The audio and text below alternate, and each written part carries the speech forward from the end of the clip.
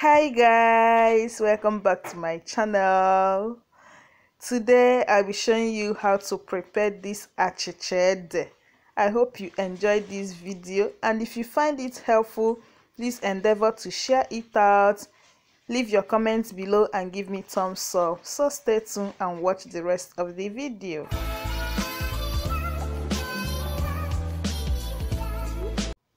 For my ingredients, I have here with me the main chairman of the occasion, achicha, which is made from cocoyam.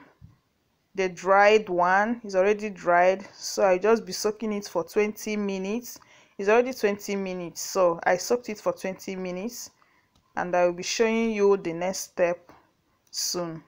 And here is my fiofio Fiofio is also known as pigeon peas in English. I soaked this overnight so that it will quicken the cooking process, thereby saving your energy for you. If you are using gas to cook, if you are using electricity to cook, it will save your energy for you.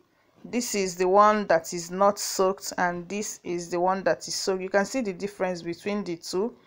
And for the achicha, which is the cocoyam, here is the one that is not soaked. You can see how dry is looking before i soaked it.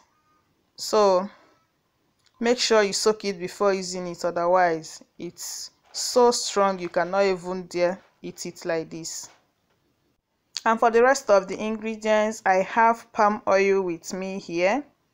Very important. I have my salt. I'll be adding some salt from this and over here is my onion. If you have the pink or the red onion feel free to use it. I have habanero pepper. Add as much pepper as you want. And i have my seasoning cube. I also have my vegetable here. I'll be using kale leaf. I brought this out from my freezer overnight and i kept it in the fridge overnight. You can use spinach or any other green vegetable. And i also have my okpaka oil bean i also be using it. So let's get right into the cooking. The first thing i'll be doing is to washing the fio fio that's the pigeon peas inside my pot.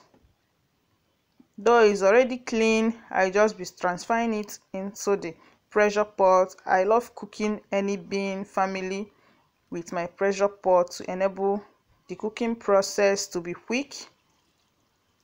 I will add some water just some inches above the content because I want to cook this dry. I don't need the water after cooking it so I don't need to add too much water. And I will cover and cook this for 25 minutes. Then I just rinsed off my cocoyam off camera so right now i will be crushing it with my palms like so.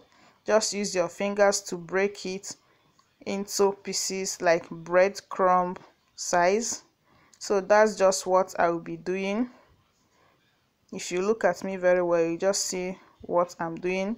So i will just continue doing this till i finish crushing all the cocoyam Thank you so much for watching up to this extent.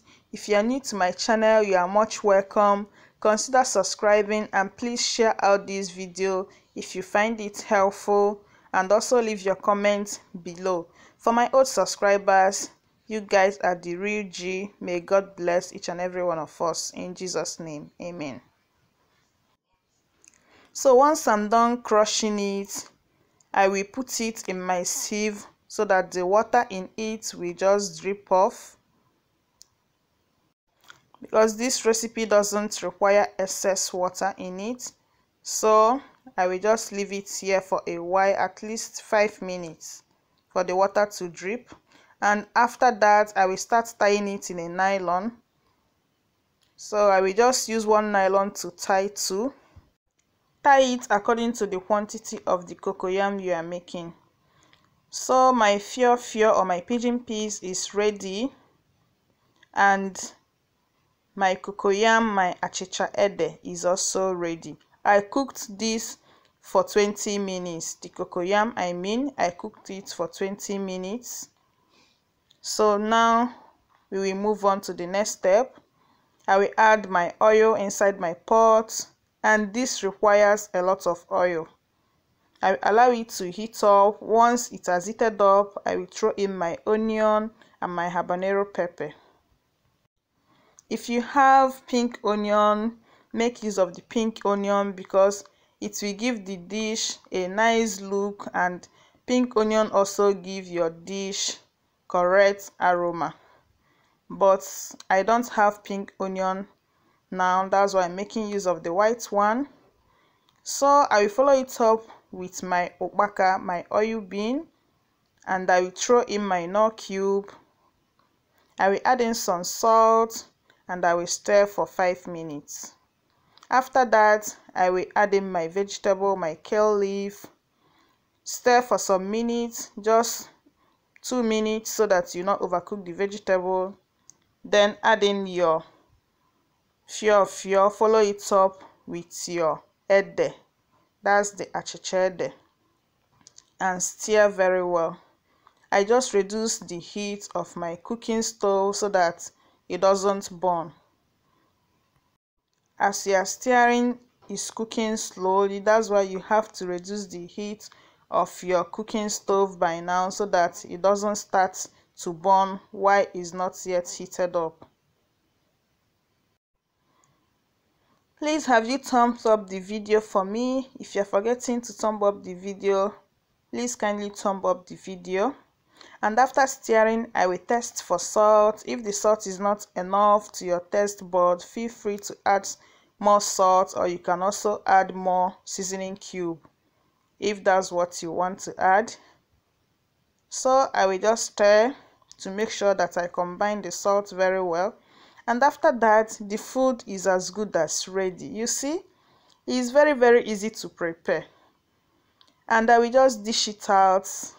And after that we enjoy the meal.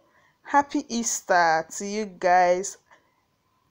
Hope you give this recipe a try. A try will convince you this came out so perfectly well. My husband has not eaten this for over how many years? Almost 20 years plus. And he enjoyed the meal. So guys here is the end result of the achicha ede. Hope you enjoy watching. Thank you so much. Bye and see you in my next one